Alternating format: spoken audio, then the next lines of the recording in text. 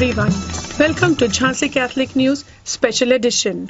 Today, on the eighth day of Novena to St. Jude, morning Eucharistic celebration was presided over by Father Arun Minch and the preacher was Father John Paul.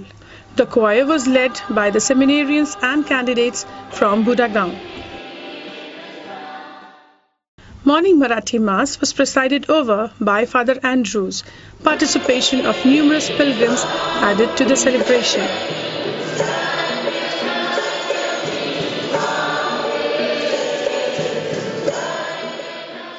Healing and prayer service was held by Father Sadanand from 10 o'clock.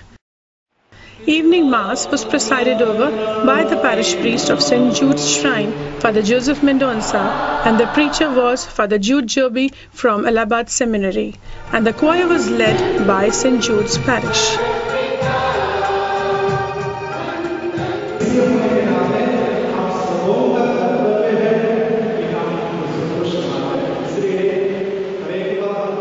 Today's Bhandara was sponsored by Keith and Kevin Morris, Samir David Pereira, and Dr. Ethelina Robert.